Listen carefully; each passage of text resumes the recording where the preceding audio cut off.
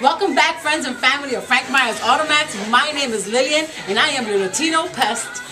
No. No, No. Latino princess. I'm Latino princess.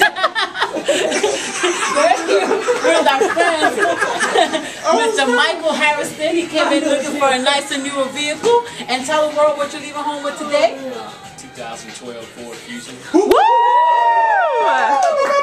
And tell your audience how your experience was here at Frank Myers. I had an absolutely wonderful experience. Yeah. And that is what we like to hear. So if you need a nice and newer ride, come on down to Frank Myers Auto Maxx and see Lillian, the Puerto Rican princess. In just the count of three, we're going to enter him into our family with the ceremony of gone.